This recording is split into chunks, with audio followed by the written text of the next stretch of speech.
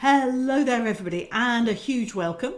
Um, I wonder whether you've got a studio concert coming up very soon. Here in the UK, we're still hard at work, and I know many, many teachers have got their annual studio concert or their termly studio concert already in the diary and with students ready to prepare for that. And I was talking to somebody about this over half term and saying this is a really, really valuable opportunity for you to take to advocate for music education and the value of what you do. Now, you might feel that you're not somebody who can stand up and speak in public like that. But I would um, really recommend that as the leader of your piano studio, which you most certainly are, it is actually your responsibility to help spread the word. And to be honest, it's absolutely in your own benefit to stand up and tell people about, by people, I'm usually meaning your students, but more importantly, the piano parents you've got there or your adult students that you've got there, to really highlight to them the power of the piano and music education. You've only got to look at the Channel 4 series, haven't you, the piano, to see how music moves people and how people are inspired to learn an instrument when actually they've never had lessons. You don't need lessons necessarily. But I'm not here to say that really. I'm I'm really here to talk about the power of what it is that we do and how you can really highlight that. So we need to really say to people about how music music is the jackpot. Yeah, music can really help to bring together the um, the sensing, the moving, the feeling, and the thinking part of the brain in quite a unique way.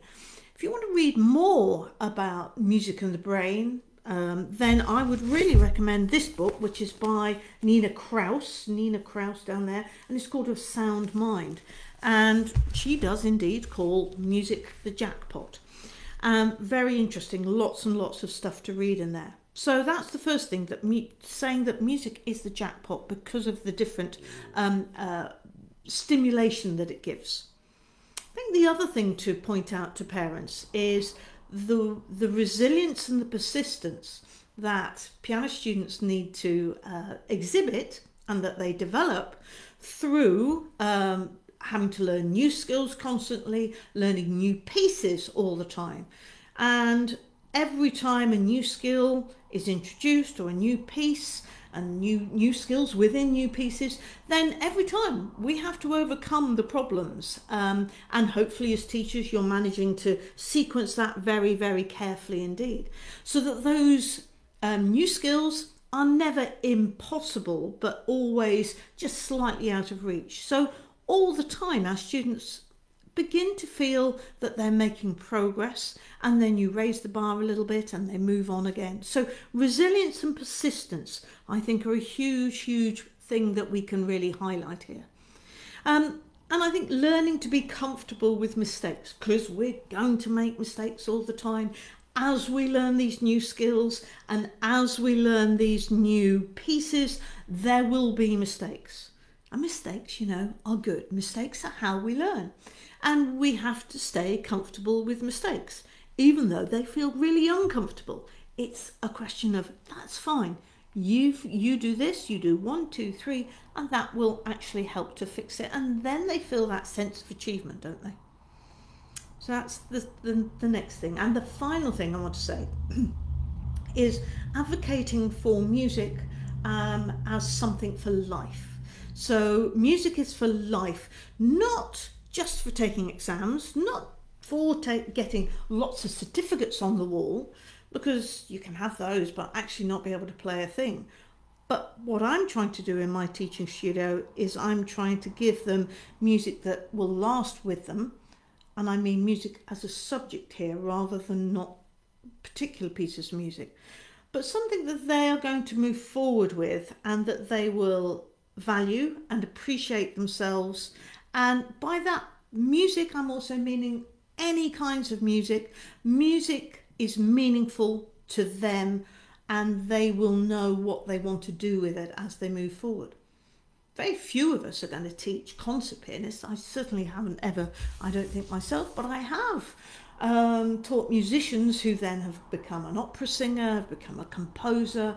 Um, you know, there, there, there, are a whole variety of things. But the majority of my students, I would say, just love music. And I would hope that going back 20 years, I would hope that those students still feel that. Of course, they're all grown up now, and even more, I hope they're passing it on to their children as well.